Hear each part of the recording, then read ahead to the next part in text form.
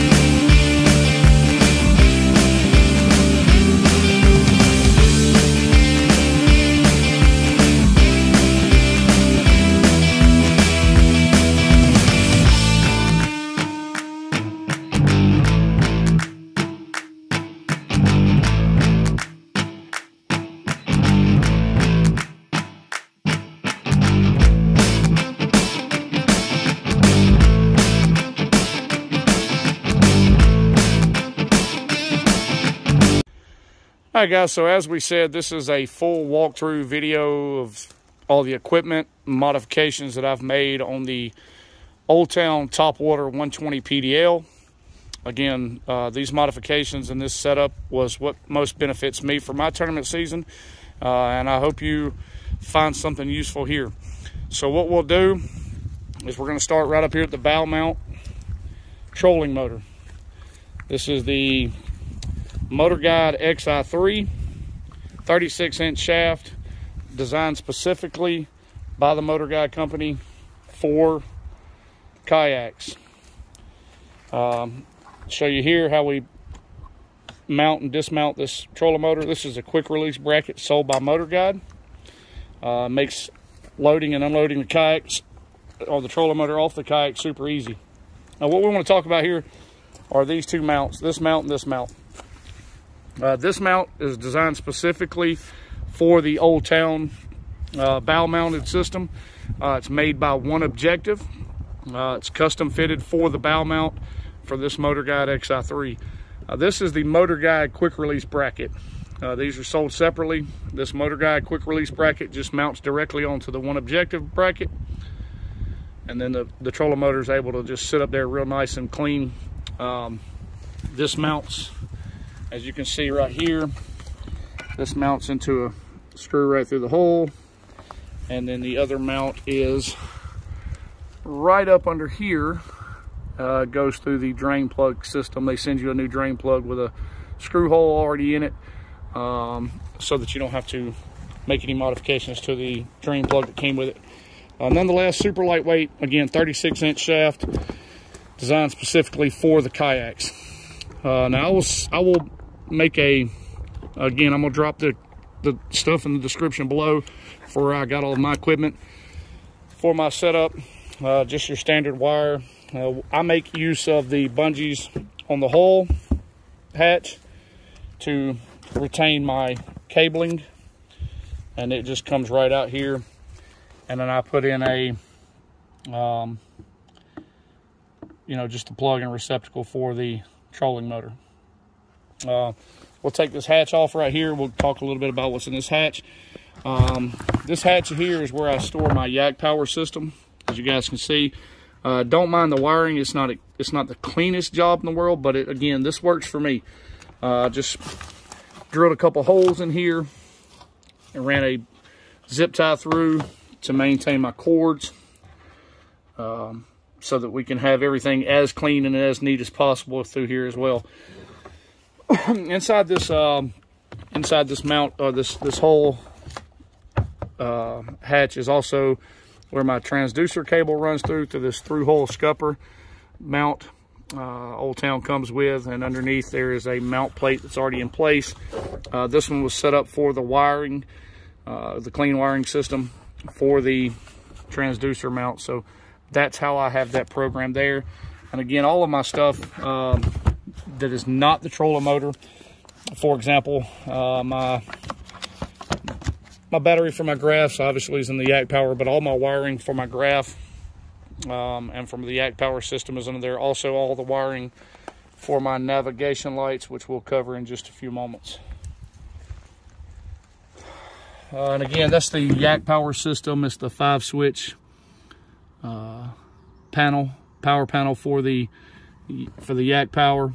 Um, I can run two different setups, which one is where I run my graph, and two is where I run my internal lights and my navigation lights. I've got a bow and a stern plug set up right now, as you can see here.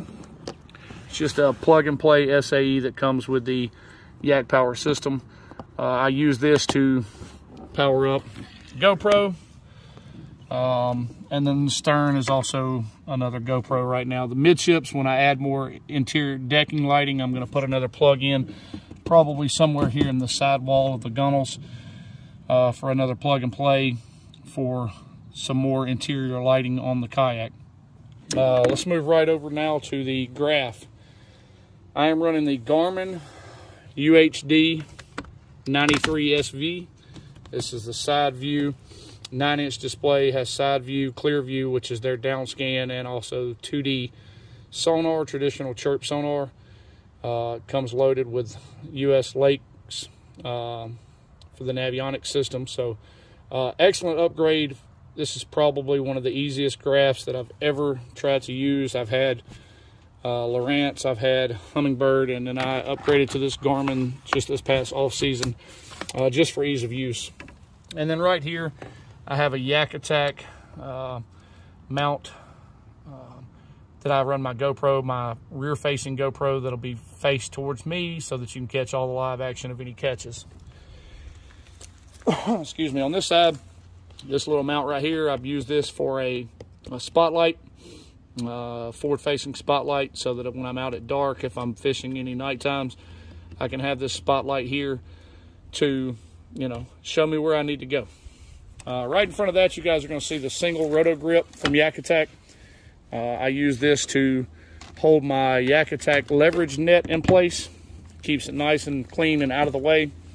Uh, doesn't really uh, detract from any functionality of my track, my, my rail system. Also allows me easy access to my to my net when I need to access it. Uh, moving forward, as you can see, I have two rods and reel staging area here. Um, Old Town does a real good job of providing these under seat staging for uh, laying down your rods right up through the tracks. There's two of them there. Uh, does a real good job there keeps it nice and clean, keeps the deck kind of organized. Uh, just your basic pockets. Keep my um, split ring pliers and line cutter there. Uh, and I can keep any plastics or whatever I need there as well. Uh, for the seat, uh, I did elect to go with the upgraded seat on the Old Town. Um, actually, the, the guy that I purchased this from had already had both seats, so uh, I do utilize this. I just picked this up in the meantime. I am looking to get a um, uh, kayak cushion, uh, both the, the cush bar for the back support and for the lower seat. But this will, this certainly makes it more comfortable to sit if you're uh, if you're having to sit long amount of time for you know for fishing or whatever the case may be. Picked it up from Walmart for like seven or eight bucks. Uh, here we got the rudder control, which using the trolling motor, we don't have to use much of the rudder, rudder but when we do, uh, when we're in situations where it calls for the pedal drive, deploy the rudder. This is the uh, steer control for the rudder system. Got our pedal or our paddle holder here, just mounted into the side of the kayak. It's got the it's got the taco clasp on it. Keeps the paddle nice and secure right on the side. Uh, we'll talk about PFDs, guys. This is the most important thing in kayak fishing. Um, I mean, obviously, you want to have a kayak that that fits your needs, but overall, Uh, you need to make sure that you have a PFD or personal flotation device that you trust. So um, I went with the NRS Chinook. It's comfortable, it's lightweight, very breathable. Um, it's got the high back padding on it so that it makes it more comfortable when you're sitting in your in your kayak for long periods of time. this Old Town comes with one forward facing uh, rod holder if you're needing to retie or whatever the case may be. Uh, it's just forward facing. You can have it there for convenience and retie as needed. Um, right back here, I keep this uh, this bag, this KastKing bag, is full of stuff for like uh, my my quick access soft plastics and things like that, things that I may need to grab quickly. Um, I keep my uh, VMC ring tool for the wacky rig in there. Again, it's loaded with lots of plastics. Uh, very important that you have quick access to that. Uh, we'll move on to the Yak Gadget Crate. Now, guys, this is a, a fairly new addition here, this Yak Gadget Crate. Uh, this is the Low Pro XD with the 5-inch risers or 4.5-inch risers for the base. Uh, without the risers, this unit would not fit securely in the, the tank well of the kayak. So I did have to get the risers for that. But as you can see, it holds comfortably six of the Plano 3700s. I mean, I've got everything in here from chatterbaits to some soft plastics, jigs, crankbait box, spinnerbait and buzzbait box, and then also a, a top water box that I use. Uh, comes with this nice cover with a zipper on it where you can, uh, you know, you can store your scales or fish grips or anything like that that you need to store. Stores quite easily in there. Uh, makes access on the water very, very efficient. Um, as you can see, excuse me, the Low Pro XD, I have all six of the rod mounts on it, the rod holders. Um, again, I don't like to have to stop and retie a whole lot. So as you can see, um, all six of the rod holders are on the Low Pro XD crate by Yak Gadget. Uh, and again, it just makes it more convenient for me. This may not work for you, it may not work in your kayak, but makes it more convenient for me to be out on the water and just be able to pick and go. Uh, if I need something, I can just pick it up and go, whether it be changing from a crankbait or a lipless spinnerbait, something like that, to say maybe a Texas rig or a uh, a wacky rig or shaky head, whatever the case may be. Uh, just makes it easier to pick it up and go. Uh, right here, we got the rudder system for the Old Town top water. It comes with a bungee strap to hold it down uh, when it's not being deployed. It's also got a pretty nice handle here and then also a handle here for being able to maneuver the kayak as you need to. Uh, we'll move around to the other side here. As you guys see, I store my uh, catch board right behind the seat. I have it tethered off to the seat with a little tether and a carabiner hook. Uh, again, it's just easy access. If I need to get it off, I just unclip it, pull it out, get it right up there, get my fish on the board, measured, and back in the water as quickly and efficiently and safely as possible for the fish. Again, that's what we're looking out for, guys, uh, is how we can take care of the fish. Um, and again, you know, just molded in handles. Um, extremely important for being able to maneuver the kayak as we need to. Uh, here, and again, don't use it too much when I'm using the trolling motor, but this is the deployment system for the uh, for the rudder. Uh, it is in stow mode now, so facing forward, it's all the way in the stow or towards the bow. When I have it um, in stern position, the rudder would be deployed down. Uh, so real nice feature, very sturdy handle there. Uh, and again, this gives me everything that I need out of my kayak for the tournament season. Now, I will tell you uh, a couple, couple little things I've done. Uh, this is a new upgrade that I just made. Actually, just put them on today, and I've got to finish securing them. But these seat risers are extremely important for those of you that are going to be out on long water trips, and I'll show you why. Um, as you, some of you may or may not know with the Old Town, uh, when it is out on the water for hours, um, it can be kind of tedious on the back.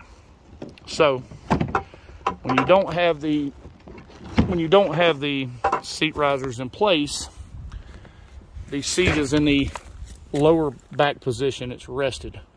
Uh, and it makes get, standing up, getting up and down, uh, much more working workout, I should say, much more effort to stand up and sit down in the kayak when you're uh, when you're running it without the uh, seat risers. So I ordered these seat risers. You can get them in packs of two. They come. They have some. Uh, Yak Hobby is who makes them, and they have them in the forward and rear uh, seat riser options. And again, it just makes it makes having the ability to have that seat up at that flat angle much easier to stand up in, much easier to fish, much easier to maneuver the kayak. Um, so very important part that I added. Again, uh, as you guys can see, it's made by Yak Hobby. Um, it's 3D 3D printed, custom molded for the Old Town Topwater and Sportsman series. They will fit either one. So uh, go check out Yak Hobby. Very, very good tool to have for those of you that are going to be on the water for longer periods of time. Um, and last but not least, running the trolling motor, running the XI3 is extremely, extremely, uh, for when I'm out fishing longer periods of time, when I'm out fishing uh, in high wind or high current, um, it makes ease of access that much easier having this trolling motor. Uh, but I could not, and I would be remiss not to mention this a lot, maintain the power on my kayak without that right there. Enduro Power lithium batteries, uh, by far the best battery on the market, uh, in my opinion. Um, I've have to, you know, so many inconsistencies out on the water, whether it be water temperature, wind, current, uh, you know, what the fish are chasing. And, and, as anglers, what we're looking for is consistency. Um, and that Enduro Power lithium battery provides me all the consistency I need. Um, 12 volt, 100 amp hour. You can go check them out at enduropowerbatteries.com. Again, I'm going to drop the link in the description below. Uh, but that keeps, and I'm, I'm not going to deploy the trolling motor, but that certainly keeps the trolling motor uh, powered up. Uh, I run the trolling motor off of this little fancy dancy handheld remote. And, uh, you know, I can use uh, anchoring system or spot lock. Uh, keeps you within a, a five cubic foot area radius uh, for fishing when you're sitting in current or high winds. You don't have to worry about battling with the paddles or the pedals or repositioning, moving your trolling motor around. This will do it for you. Uh, and then also we got the heading lock, which will keep you on a certain heading. Um, and, and it goes. I mean, it goes wide open. Uh, and I never have to worry about losing power from first deployment to last deployment uh, with the Enduro Power lithium batteries. So um, I've got that wired up, and I'll move this seat down a little bit. I've got that wired up, and again, all my wiring is through the through the hole. Uh, got it coming out right here. Just used a Yak Attack through hole mount. Uh, use that mount to keep the wiring nice and clean, keep them out of the way. And uh, I also deployed a, in this hole, this little compartment here, um, as you may or may not be able to see, and I hope you can, uh, but I deployed a 60 amp waterproof breaker right there. Um, just if something were to happen and it tripped the breaker, I just reach behind me, take the seat off, or take the cover off this hatch, and um, go right to town on getting it reset. So, again, everything that's on here for me was set up for convenience, ease of use, um, stuff like that. I've got some tank well lights, as you guys can see right here um, and I'll power those up so that you can see those. Those are those are my navigation and my tank well lights. Uh, all of it again is ran off the Yak power system, and it's basically just plug and play. Um, as you can see here, you just plug in. I'll say as you can see, like I can't really see it because I'm trying to maintain the, the view from the phone for you guys. Uh, but it's just plug and play. You plug this SAE cable up power the yak power box up. Come right over here to my switch, that five position switch. And again, you just power it up there. And I'm just gonna show you the navigation lights. Remember, number one is what I run my graphs on. Number two is my navigation lights. And as you can see, I installed these uh, blue LEDs in the front and in the back. Um, just so when I'm out at night, it's not too bright in my eyes, but it, it does make it easier to see uh, what I'm doing in the tank well.